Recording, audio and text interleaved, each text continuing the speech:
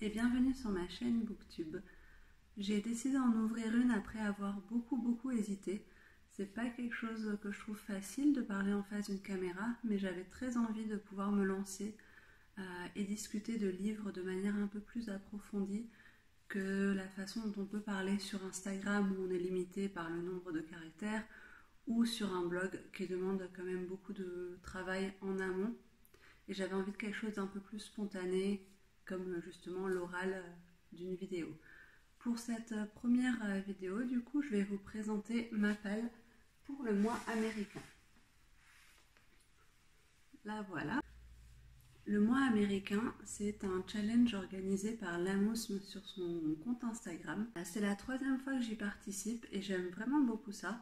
La littérature américaine, c'est pas ma littérature de prédilection. Je préfère toujours la littérature anglaise mais j'aime quand même beaucoup le côté euh, très nature writing des États-Unis, la diversité des paysages et des histoires qu'on va avoir en fonction des États où ils se passent. Et ça me permet toujours de découvrir euh, de nouvelles choses et d'explorer de nouveaux territoires. Donc c'est parti. Le premier livre que j'ai mis dans ma palle, c'est euh, Sans lendemain de Jake Hickinson aux éditions Gallmeister.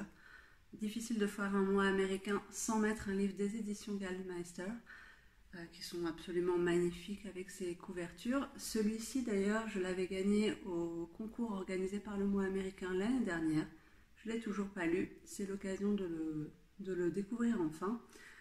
Euh, alors, j'ai pas, je ne vais pas relire tout le résumé parce que je veux euh, garder un peu le mystère et pas forcément savoir dans quoi je m'embarque.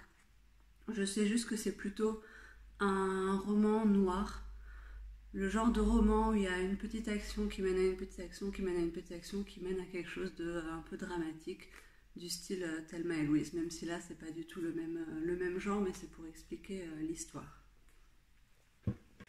Le deuxième livre que j'ai mis dans ma palle, c'est Meurtre et tarte au citron meringué de John Fluck aux éditions du Cherche Midi.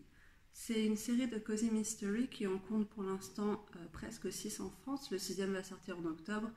Mais aux États-Unis, je crois qu'ils en sont déjà au tome 27 euh, ou 28, donc c'est énorme. Euh, on sait qu'on s'engage pour longtemps avec ça. Et c'est une saga que j'aime vraiment beaucoup. Celui-ci, c'est le tome 4. La particularité, c'est que ça se passe donc dans une petite ville des États-Unis où tout le monde se connaît, où les nouvelles, les rumeurs vont très vite et on va suivre Anna Swensen qui possède une boutique, le Cookie Jar, et qui en même temps euh, passe son temps à trouver des cadavres et à essayer de résoudre euh, les enquêtes liées à ces cadavres. C'est très cosy, vraiment le côté euh, cosy qu'on associe en général à l'Angleterre. Ici, on le retrouve tout à fait. Si vous regardez Gilmore Girls, j'ai un peu l'impression que c'est le Stars Hollow plus des meurtres, en gros. Et euh, le petit avantage, c'est qu'il y a aussi plein de petites recettes de cuisine à l'intérieur. Alors c'est plein, plein, plein de beurre. Euh, c'est vraiment, euh, on sent la culture américaine, mais de temps en temps, ça peut être des recettes chouettes à tester en plus. Le troisième livre, c'est la saga des Jeanna de Mazo de la Roche. Celle-ci, pour le coup, c'est une saga canadienne en 16 tomes, en fait, qui a été sortie dans les années 30, 40, 50, je crois et on va suivre euh, une famille, les Whitehawk, sur plusieurs euh, générations. Euh, Omnibus récemment les a tous réédités avec quatre intégrales qui contiennent chacun quatre tomes. Celle-ci, c'est la première intégrale. J'ai déjà lu les trois premiers que j'ai bien aimés, mais sans plus. En fait, on m'avait un peu vendu ça comme une saga épique à la hauteur d'Emporte le vent, qui est mon roman préféré mais c'est quand même euh, beaucoup plus gentil, beaucoup moins dramatique, ça c'est sûr, et avec des personnages moins attachants.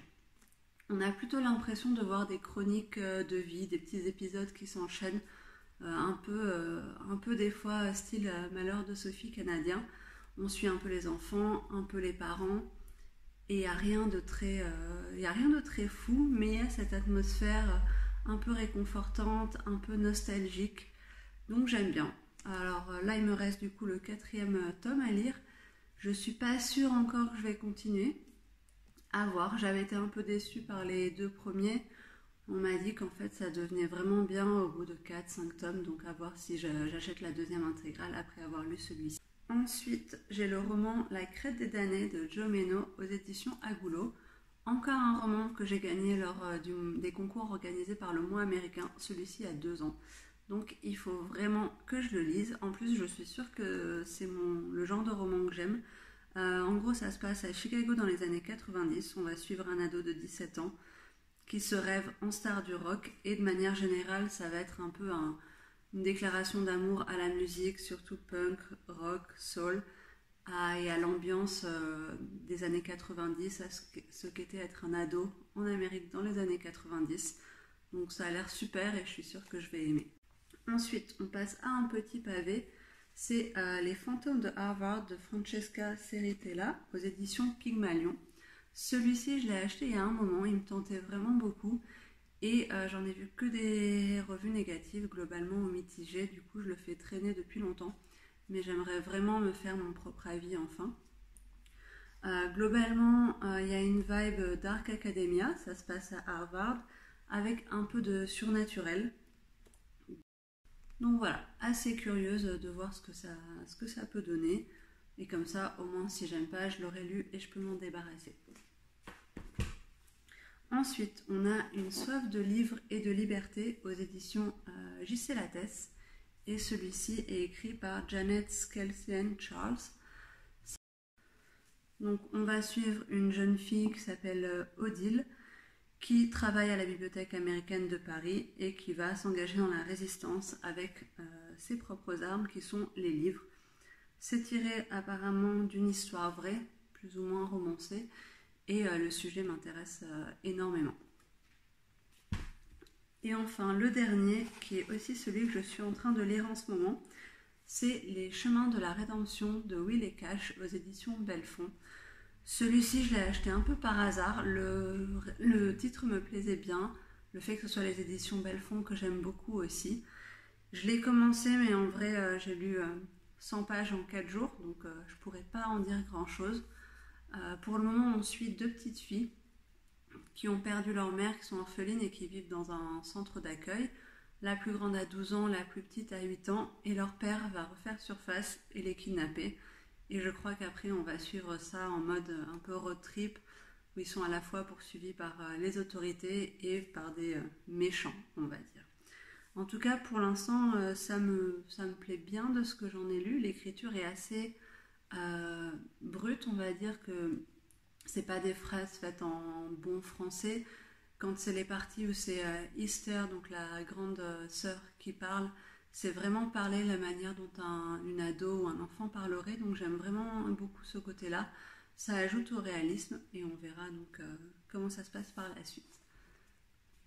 Voilà, donc je vous ai présenté toute ma palle. N'hésitez pas à me dire s'il y a des romans que vous avez déjà lus, s'il y en a qui vous tentent ou si vous participez aussi à ce challenge.